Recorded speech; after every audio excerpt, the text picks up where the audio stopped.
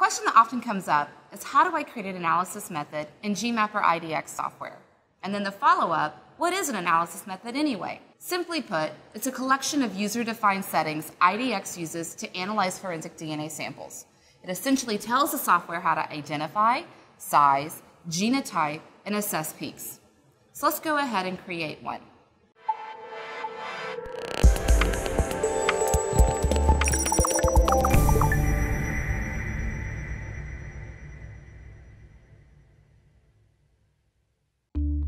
In the software, access the GeneMapper IDX Manager from the Tools menu. On the Analysis tab, select New. You need to define a name in the General tab and select a security group. The rest is optional. Now click on the Allele tab. First select what bins to use. This defines the alleles based on the STR kit you are using. To automatically use the stutter values defined in your panel, check the marker-specific stutter checkbox. This setting is typically utilized for casework samples.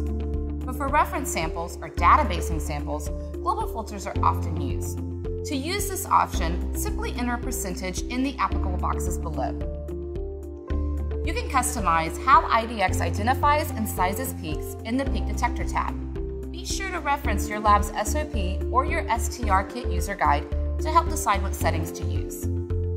You can select the full analysis range to analyze all the data points collected by the CE, or you can specify a specific range.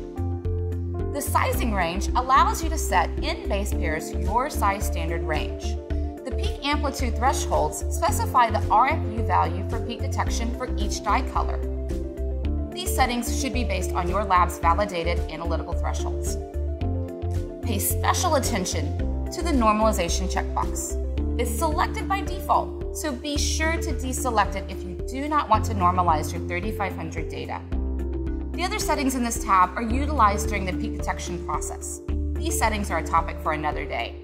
The settings in the peak quality tab won't modify how your data is analyzed, but it will define how the software assesses and flags the samples. The minimum peak height fields help to identify potential allelic dropout. These settings can be used to flag alleles that fall under a stochastic threshold, while the max peak height flag setting can be used to flag peaks over a specific RFU. The remaining fields in the peak quality tab can be used to identify sister allele imbalances, artifacts, loss of resolution, and potential mixed samples. You can even decide if you want to detect spikes differently in your allelic ladders and your samples. Weighting of flags is controlled in the SQ and GQ settings tab. A value of zero means the flag is not turned on, while a value of one is the highest weight. Optimization of this tab is especially helpful when using the software as an expert system. For the software to properly check the autosomal and Y-STR markers in a kit such as GlobalFiler, you will need to change the amelogenin cross-check weight to a value of 0.3 or higher. You can also change the range values for pass, check, and low quality for sample sizing quality and genotype quality. Once your analysis method is set, simply hit save. And don't forget the help button if you need assistance. Thanks for tuning in to this Back to Bases episode of Forensic Focus.